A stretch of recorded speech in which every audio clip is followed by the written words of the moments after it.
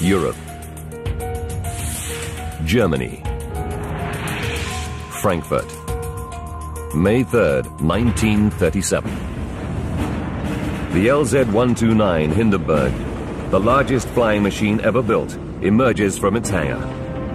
Its destination, Lakehurst, New Jersey. This is no ordinary crossing. It's the launch of the world's first scheduled flight service across the Atlantic. Since rolling out of the hangar in March 1936, the airship has made a series of 62 successful trial and publicity flights. Built by the Zeppelin Company, the Hindenburg is 245 meters long, as big as an ocean liner, and stands as tall as a 13-story building. The 36 passengers boarding tonight will spend the flight on the passenger deck towards the airship's nose. Most a high-profile businessman, but also on the passenger list is one of the first families ever to fly in the Hindenburg, Hermann and Matilda Doehner, and their three children, Irena, Walter, and Werner. The wealthy family live 11,000 kilometers away in Mexico and are returning from a vacation in their German homeland. For eight-year-old Werner, flying in an airship is a once-in-a-lifetime experience. The Zeppelins in general was the word of the day, and it was the fancy way to go. Airships are considered the cruise liners of the future, but for now they are the sole preserve of the seriously wealthy. A one-way ticket costs $400. That's over $5,000 in today's money. It buys the ultimate luxury travel experience a restaurant serving cordon bleu cuisine and the finest wines, fashionably designed lounge areas, and of course, spectacular views from the promenade deck. Werner's sister, Irena, is 14. For her, the voyage is a chance to leave childhood behind and mix in sophisticated adult circles for the first time. It was sort of special for her. Somehow, eh, during this trip, she grew up enough so that she asked her blades to be cut and she had a new hairdo. And well, she was now a young lady. Down on the ground, a crowd gathers to watch the launch. For many, just seeing this massive flying machine up close is a thrilling experience. As passengers board, all their lighters and matches are confiscated and they are expressly forbidden from straying outside the designated passenger areas. With good reason. The airship's outer skin is made of strong cotton and linen, waterproofed and tightened with a chemical paint called dope. Inside the skin are 16 gas bags, over 30 meters tall, holding nearly 200,000 cubic meters of hydrogen, a highly flammable, lighter-than-air gas that gives the airship its lift. Forward of the passenger deck, slung beneath the airship, is its nerve center, the control car. In command is Max Pruss. He's one of the company's most experienced captains with over 20 years flying experience. And he's captained the Hindenburg on 22 flights. 8.15 p.m. Right on schedule, Captain Pruss orders the ground crew to release the landing ropes. Ship the flight crew dumps 590 kilograms of water ballast and the airship begins to rise. When it reaches 60 meters, the crew starts up the four 1100 horsepower diesel-fueled propeller engines.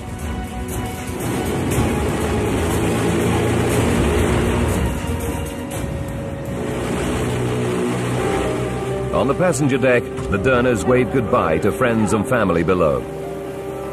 For Matilda Doehner, leaving her homeland once again, it's a poignant moment. I remember my mother had tears in her eyes when, when the ship lifted. Uh, that was so seldom for her. I, I can hardly remember having seen tears in her eyes any time.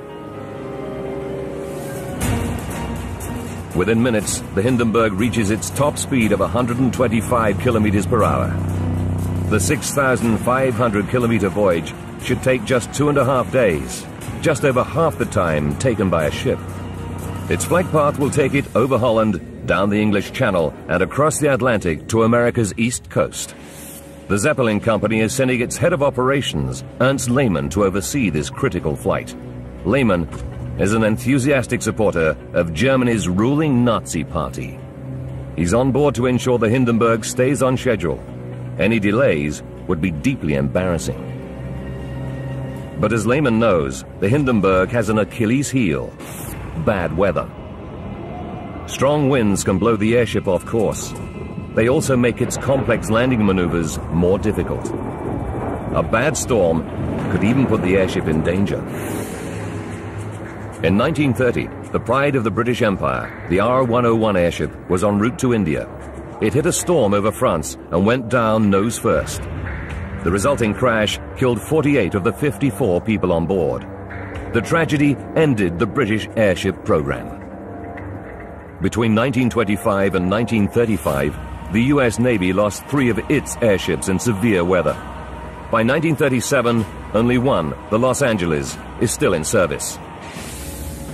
Assistant cabin steward Werner Franz isn't worried. The Zeppelin company has a 100% safety record in 27 years of flying passenger airships. And 14-year-old Werner knows that in hard times like this, he's lucky to have a job.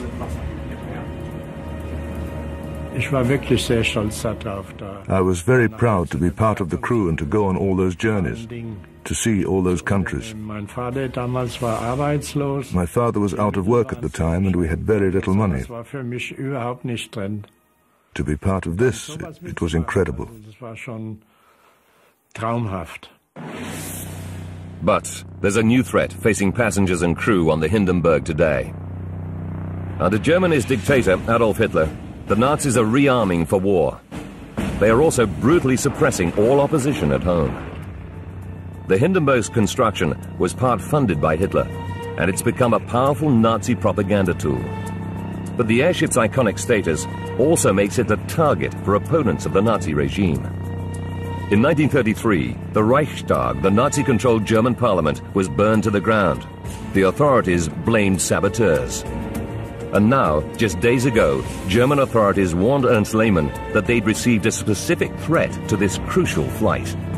Could saboteurs, posing as innocent passengers or even crew members, be on board with a deadly mission to destroy the Hindenburg? Wednesday, May 5th, Day 3. Ernst Lehmann, Zeppelin head of operations, and Captain Pruss are worried. The Hindenburg should be making 125 kilometers per hour, but strong headwinds mean the schedule is slipping. At this rate, they'll be 12 hours late. Joseph Spah, a German living in Long Island, New York, is just a day away from a reunion with his family. He's been touring Germany with his music hall act of acrobatics and slapstick comedy. His next performance will be at Radio City Music Hall in New York. He's taking a dog home as a surprise for his children. It's spending the flight in the freight area on a lower deck. Spah needs to feed the dog regularly, but it's in a restricted area so he's been warned that he has to be escorted by a crew member. Ernst Lehmann, Captain Pruss, and a Zeppelin Company observer are the only three on board aware of the sabotage threat to the Hindenburg. It's not the first time the airship has been threatened, so they treat it as a false alarm. And reassuringly, there are plainclothes intelligence officers on board, on the lookout for anyone acting suspiciously. But Captain Pruss has another problem. They're still battling against strong headwinds, so they're still 12 hours behind schedule. Arriving late is bad enough, but the return flight to Frankfurt the following night is an important one, and it's fully booked. The airship will be packed with high society passengers flying to attend the coronation of King George VI in London. It's the event of the year. If the Hindenburg doesn't get the guests to Europe in time, Lehmann faces a PR disaster. The passengers finish their after-dinner drinks and retire to their cabins. It's their last night on the Hindenburg. In a few hours, they'll be in New Jersey. Werner Franz grabs a few hours sleep. Tomorrow he's going to be busy preparing the airship for its return trip. Thursday, May 6th, 6 a.m. The Hindenburg should be landing at Lakehurst Naval Base. but it's still 1,130 kilometers away. The estimated arrival time is 6 p.m., 12 hours behind schedule. Lehmann and Pruss should have 16 hours to land the airship, disembark the passengers and freight, and complete refueling and reprovisioning before heading back to Europe at 10 p.m. Today, they'll only have four hours. It's going to be tight. 2 p.m. Mrs. Doehner packs the family's bags. On the passenger deck, Joseph Spah can't wait to see his wife and children. He knows how thrilled they'll be when they see the dog he's bought for them. The Hindenburg approaches New York, just 80 kilometers northeast of their destination. Captain Pruss treats the passengers to a bird's eye view of the Manhattan skyline. From a crew lookout area at the top of the airship, 14 year old cabin boy Werner Franz marvels at his first glimpse of the new world. We approached New York. This sea of buildings, the Statue of Liberty, the skyscrapers, all that was something I'd never seen before. 3 p.m. The Hindenburg appears out of the clouds over the airfield at Lakehurst. Base Commander Charles Rosendahl watches the giant airship pass over the hangar. He's a veteran airship commander with 13 years flying experience. And he's worried. A thunderstorm is developing, and winds are picking up. Landing an airship is a delicate operation requiring accurate maneuvering. Attempting it in bad weather could end in disaster. Rosendahl radios Captain Pruss. He recommends delaying the landing until the conditions improve. Radio this to the Hindenburg. Very good. Pruss has no choice but to turn the airship away. He heads southwest to await a break in the weather. Pruss and Lehmann know that any chance of making the 10 p.m. departure is rapidly disappearing. But first, Pruss must focus on landing the airship. 5.12 p.m. At Lakehurst, the wind eases. Commander Rosendahl radios the Hindenburg. He tells Pruss, conditions now suitable for landing. Ground crew is ready. Captain Pruss turns the airship back towards Lakehurst, but it encounters increasingly heavy rain, which slows its progress. The passengers make for the promenade areas for the final moments of the flight. 6.11 p.m. Captain Pruss swings the airship round to land into the wind, the safest way of landing. 6.13 p.m. Suddenly, the wind veers to the southeast. Pruss has to think fast. He can abort and go round the airfield to line up with the wind. But this will lose precious time. Captain Pruss decides to land straight away. But this means he must turn the airship into the wind fast. He orders the crew to make a sharp left turn. 6.17 p.m. Now Captain Pruss notices the ship is heavy at the rear.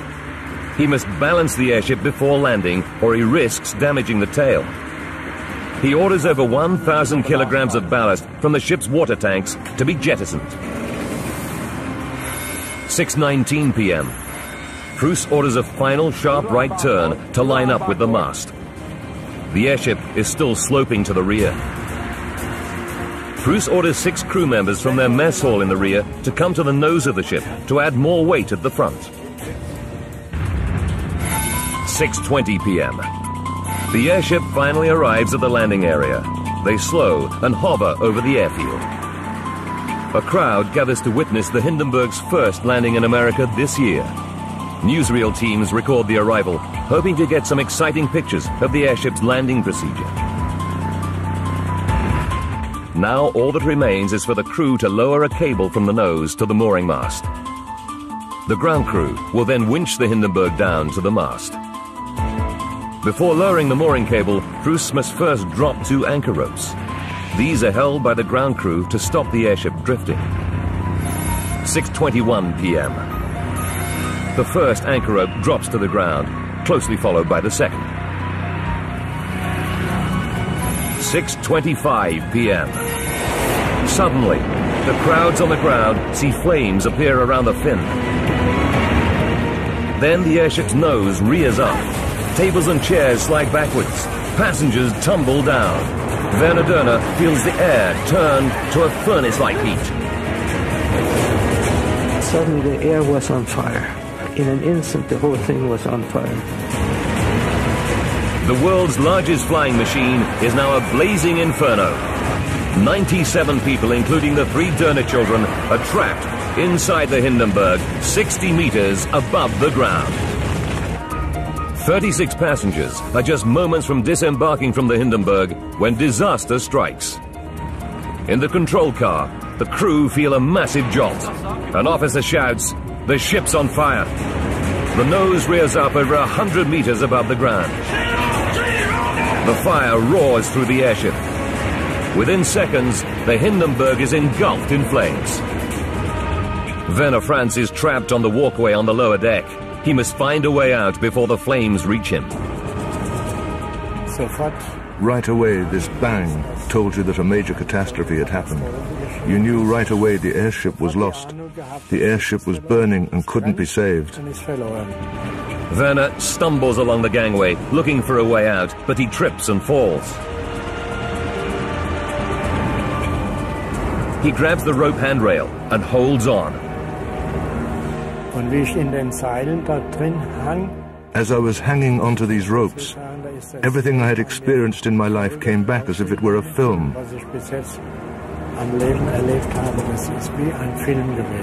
Werner sits on the gangway and kicks through the canvas. He jumps out of the blazing airship and onto the ground five meters below. Gripped with fear, he runs away into the arms of a fellow crew member. I lost control and started screaming, and he put me right again, saying, What's the matter? You're all right, aren't you? Control yourself. Go and see if you can help someone. But Werner is too terrified to return into the flaming wreckage. These half-burned creatures came running past me. Nothing could persuade me to go back into the airship.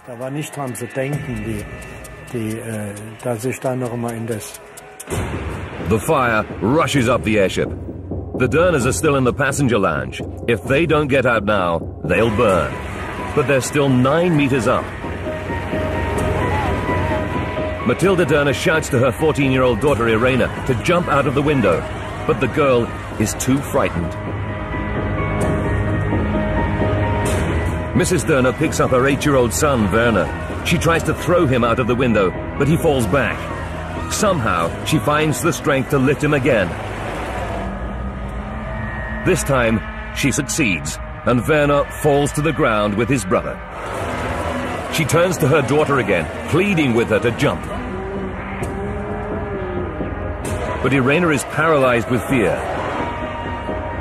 and instead turns away towards the flames, looking for her father.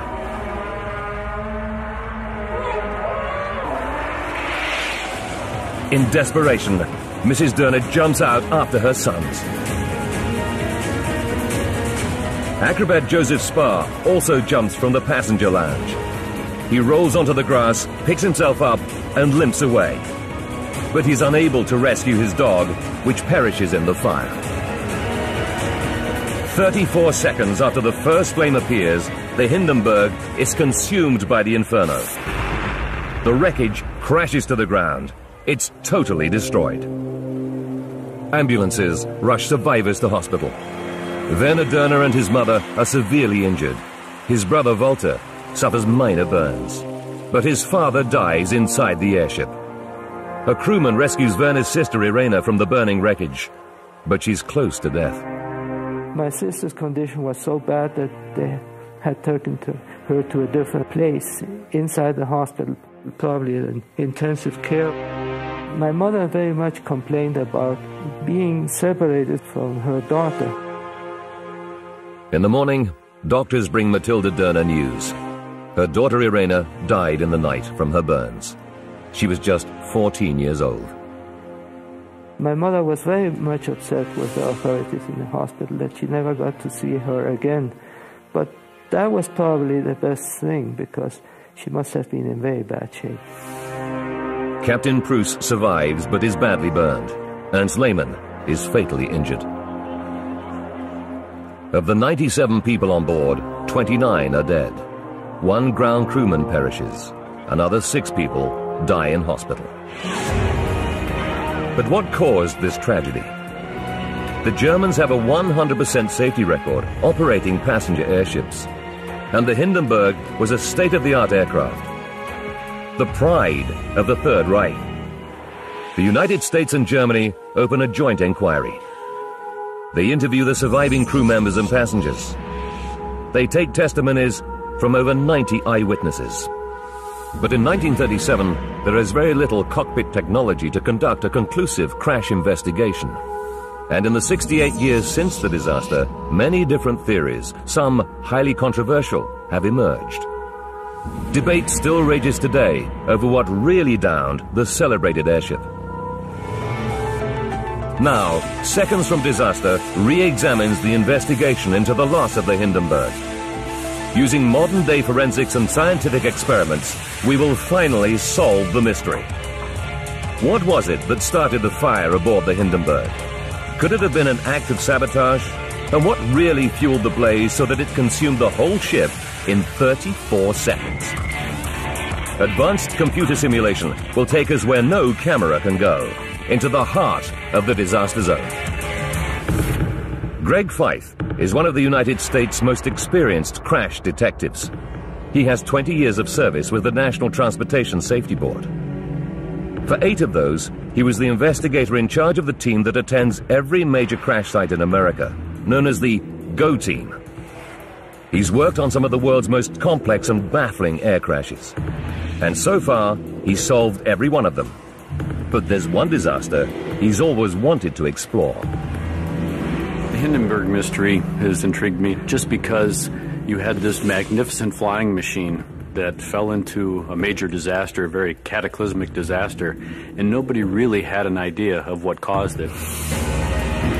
But Feith brings a modern crash investigator's expertise and forensic skills to the disaster. He must keep an open mind as he investigates every possible reason for the crash. In any major explosion in a modern aircraft, all eyes immediately turn to terrorism. Anytime you have an in-flight fire, you have to think the worst. You have to try and determine what led to that in-flight fire. You go to the extreme, and the extreme is sabotage. Feith learns that the Hindenburg received many sabotage threats in its one year of operations. But who would want to destroy it? Rick Zitarosa is vice president of the Lakehurst Historical Society and a specialist in the Hindenburg era. As the Nazi regime became increasingly unpopular throughout the world, it was also going to face a new set of security concerns. And there were heightened uh, fears that perhaps an act of sabotage could be carried out against the airship. Greg Feith examines the original report for evidence of sabotage warnings. He finds that Ernst Lehmann received intelligence from the German authorities warning of a specific threat. But who had a motive? Hitler and his Nazi party had many enemies in Germany. They carried out a brutal policy of repression against Jewish people, socialists, communists, and outspoken writers.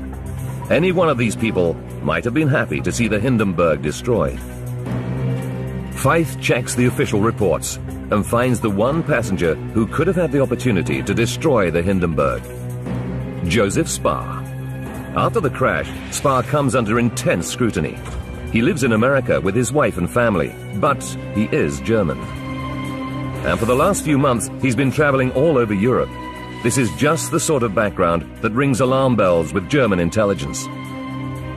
According to the FBI report, Joseph Spah did act suspiciously.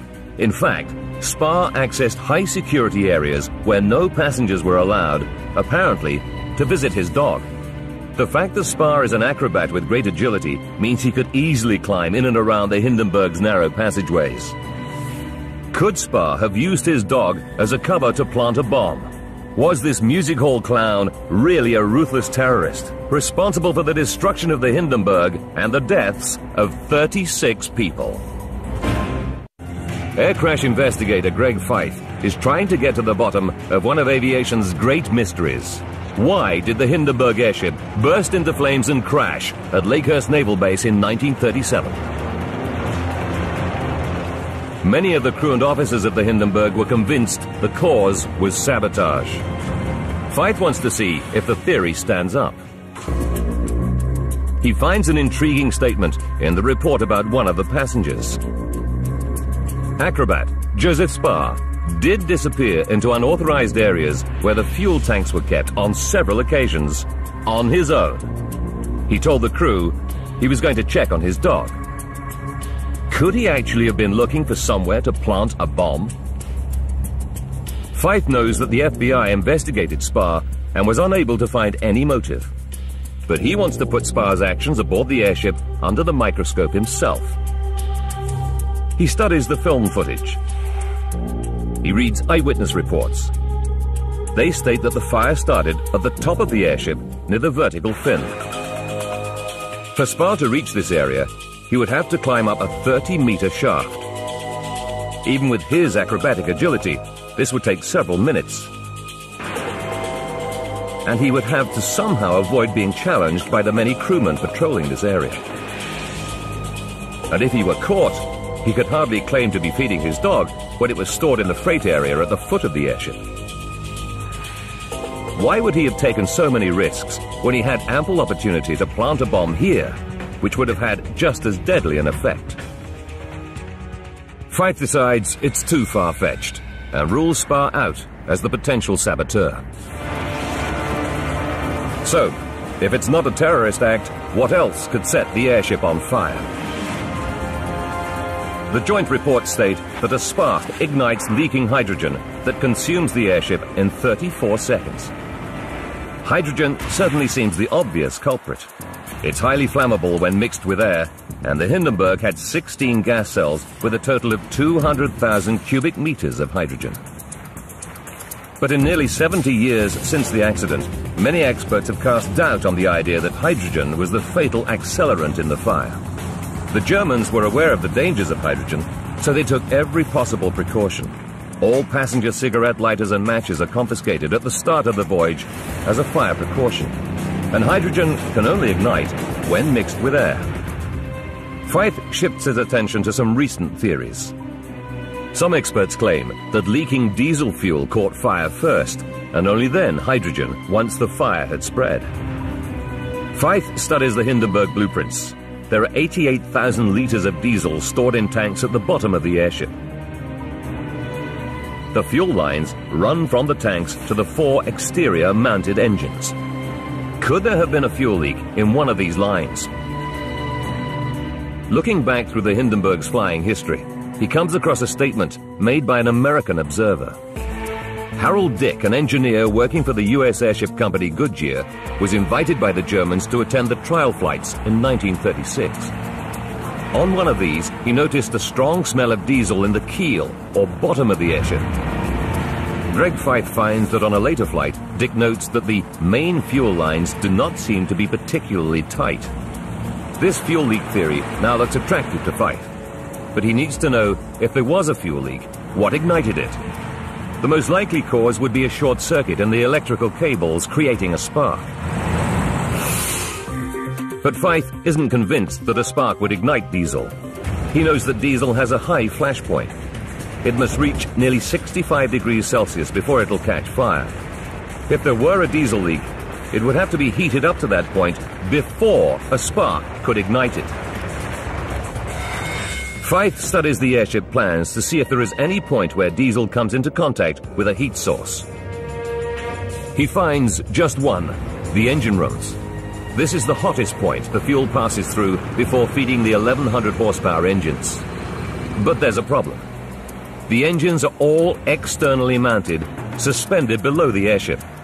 If a fire had started here, then eyewitnesses on the ground would have clearly seen it. Instead, they all report that the fire started at the top of the ship. To have a fire ignite on the bottom of the airship, propagate through the entire diameter of the airship, and then exit out the top in a very short period of time without anyone noticing is very remote. Greg Feith rules out a diesel leak as the cause of the blaze that engulfed the Hindenburg. Now he turns to the other prominent theory for the blaze. Not something inside the ship, but its outer skin. The outer covering is a cotton linen material painted with a chemical known as dope that waterproofs the airship and protects the gas bags from the heat of the sun's rays. The dope used on the Hindenburg was a new type of paint called cellulose acetate butyrate. This dope is more flammable than previous paints. The paint theory states that somehow the skin of the airship caught fire. The Hindenburg burned fast. The footage reveals that the fire swept through the entire airship in just 34 seconds. Would the doped outer cover really be so flammable? When you look at the fabric that was used to cover the Hindenburg, it's a cotton linen material. So on its own, of course, it's flammable. But it was impregnated with this doping material. And while it too has some flammable capability or characteristics to it, can it burn that fast is the big question. Feith decides to conduct an experiment to test the paint theory. He prepares a sample of the outer cover. It's made from exactly the same type of linen cotton material. The cloth is doped with a mixture of iron oxide powder and aluminium powder, just like the skin of the Hindenburg. If the material is the accelerant, this experiment will prove it. For safety, the test is done outside. If there's any wind, it's likely to push the flame in one direction faster than the other. So to compensate for this, he uses two stopwatches to time the burn. As soon as the flame reaches the edge of the inner circle, he starts the clocks. When the flames reach the outer edge, he stops the clocks. One minute for the wind-assisted side, and 1 minute and 8 seconds for the flame to travel against the wind. Both much too slow. The Hindenburg, all 245 meters, burns in 34 seconds. At the burn rate Feith's timed, the Hindenburg would have taken 40 hours to be destroyed. Greg Feith concludes the outer skin cannot be the fatal accelerant.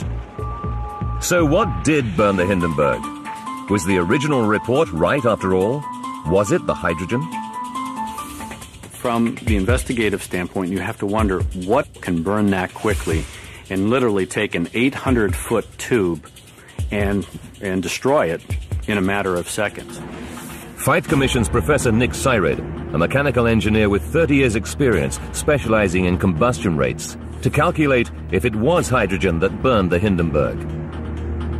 The airship was 245 meters long. Professor Syred knows from scientific study that hydrogen can burn at a rate of 9 meters per second.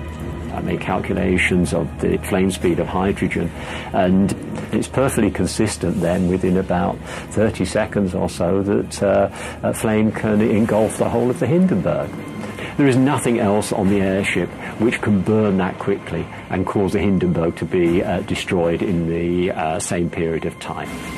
Greg Feith concludes that hydrogen is the fatal accelerant for the fire that tore through the Hindenburg, consuming it in 34 seconds. But the hydrogen would have had to escape to mix with air before it could become flammable.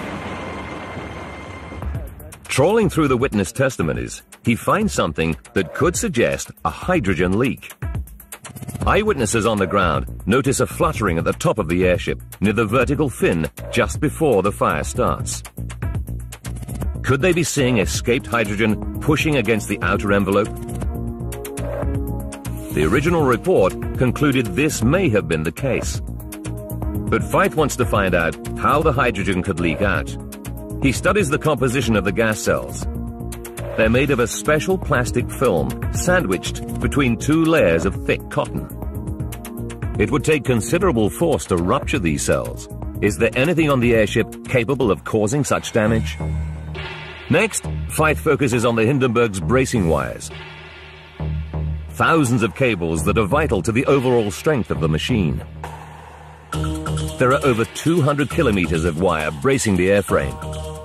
They're each about 3 millimeters thick, made of steel similar to piano wire, with a breaking stress of 450 kilograms. Is it possible for one of these wires to snap? He checks the maintenance records and finds out that bracing wires have snapped on airships in the past. Feith examines the Hindenburg's final journey to find out if anything could have put the airship under structural stress. He first checks the weather conditions. The airship battled strong headwinds all the way across the Atlantic, but according to the flying logs, it had flown through worse conditions in the past. But examining the last moments of the flight, Feith finds a critical clue. Shortly before the fire, the Hindenburg makes its final approach. Then, suddenly, the wind changes direction, and Captain Pruss orders the crew to make a sharp left turn. Finally, Pruss orders another sharp turn, this time to the right, to line up with the mooring mast. But would these tight turns snap a bracing wire? Feith checks the design plans and finds that the Hindenburg wasn't designed to make sharp turns. As the airship turns, it generates sideways pressure on the tail fin.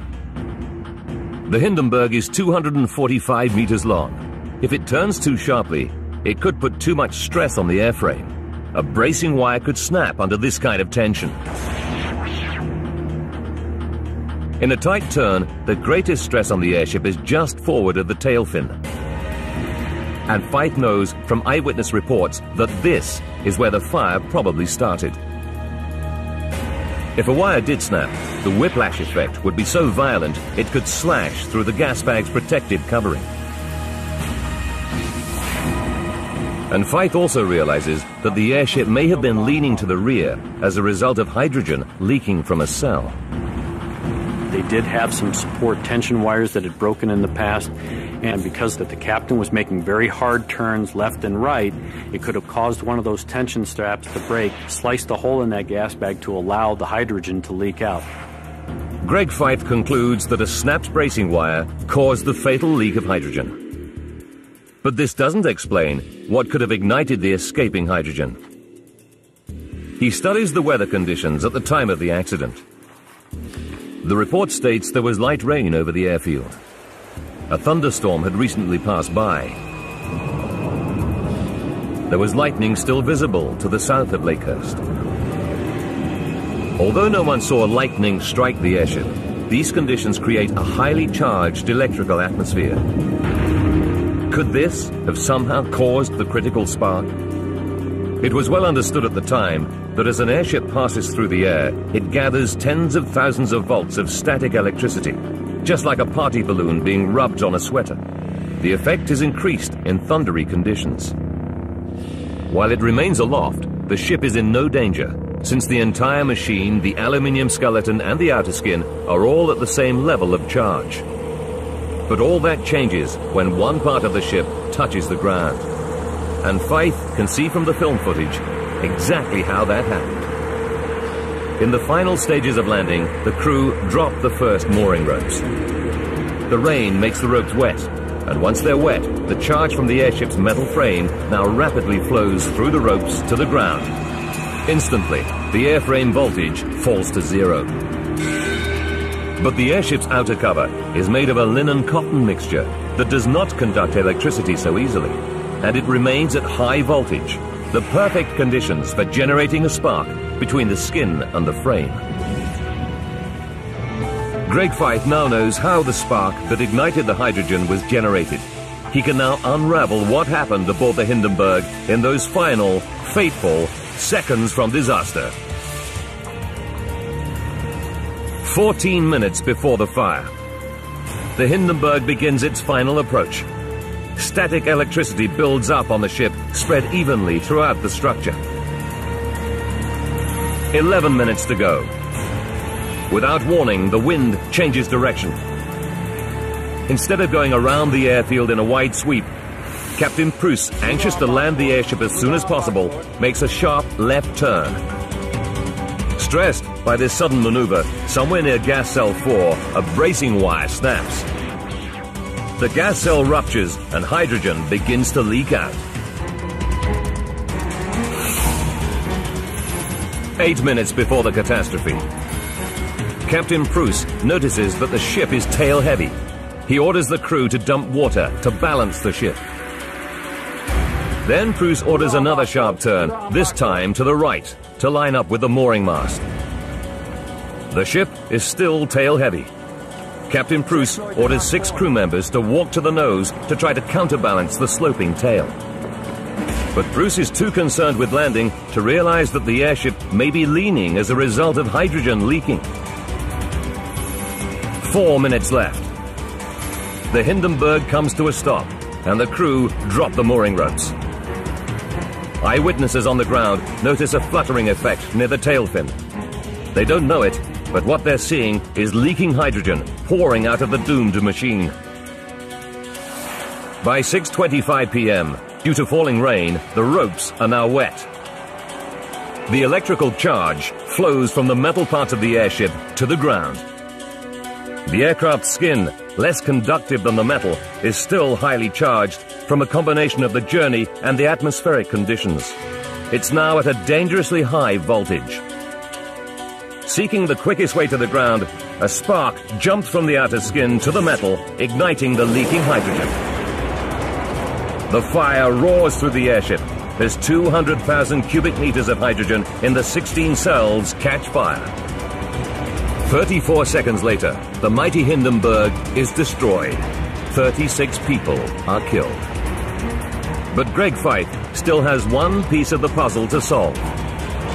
How could the Hindenburg fire have been bright orange when hydrogen burns with an invisible flame?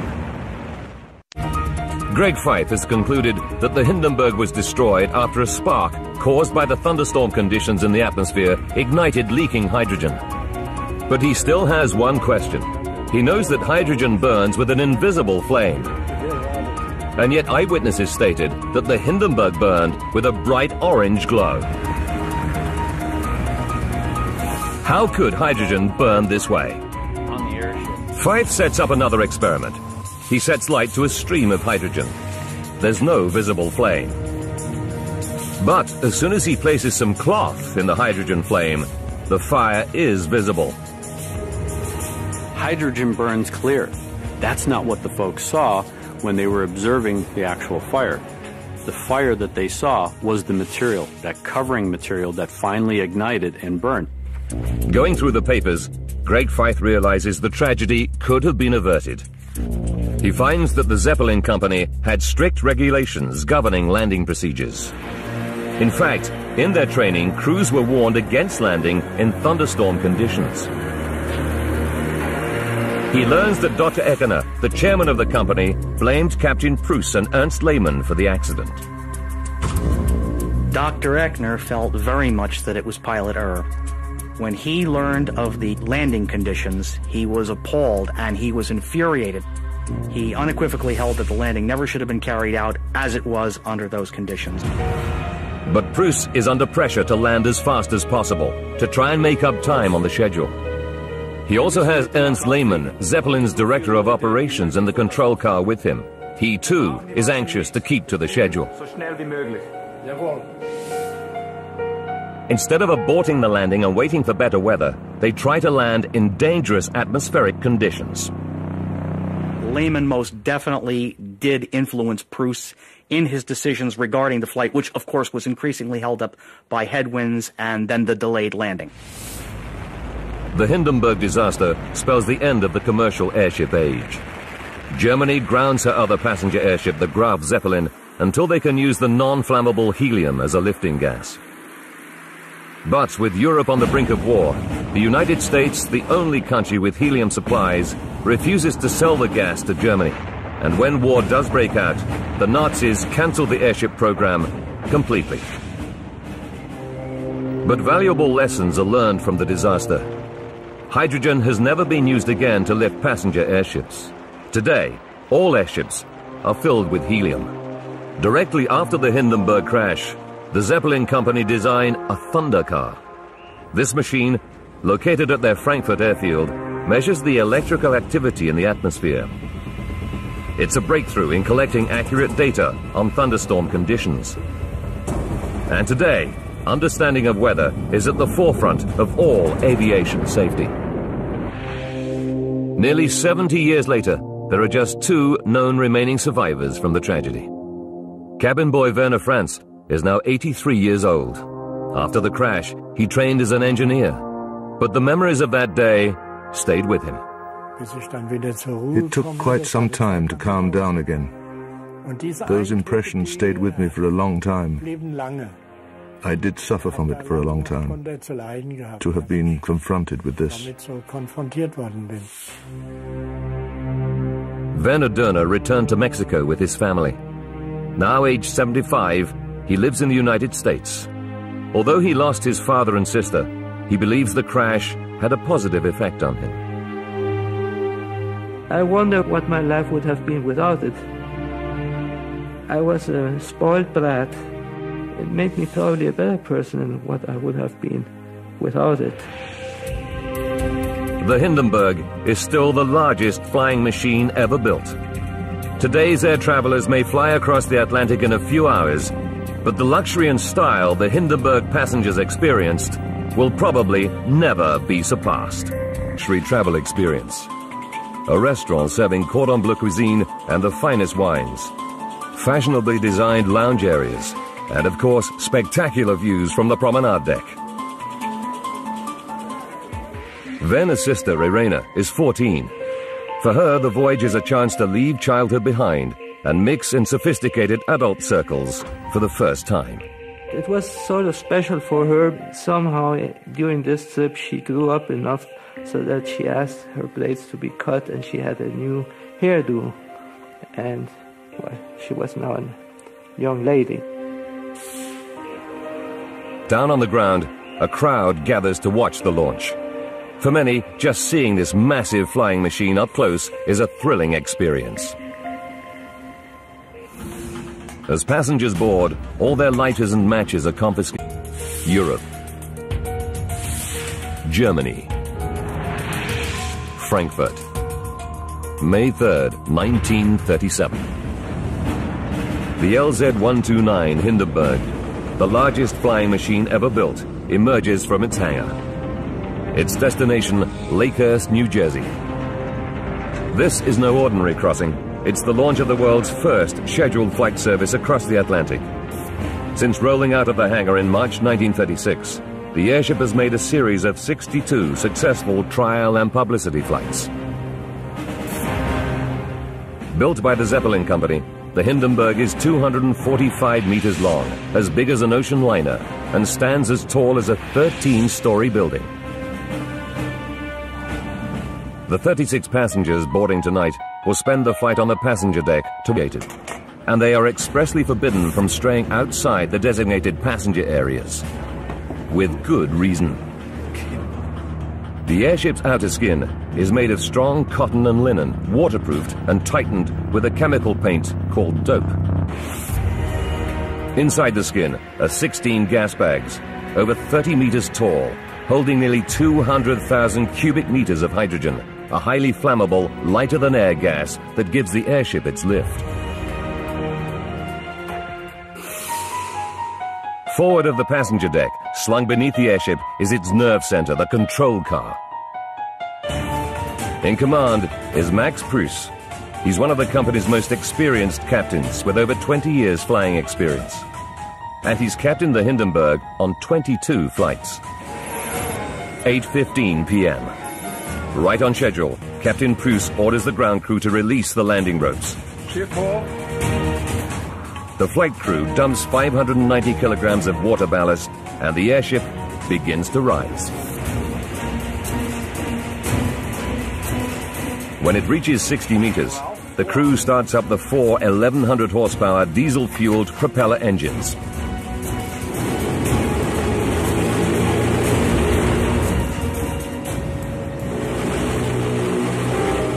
On the passenger deck, the Doehners wave goodbye to friends and family below. For Matilda Doehner, leaving her homeland once again, it's a poignant moment.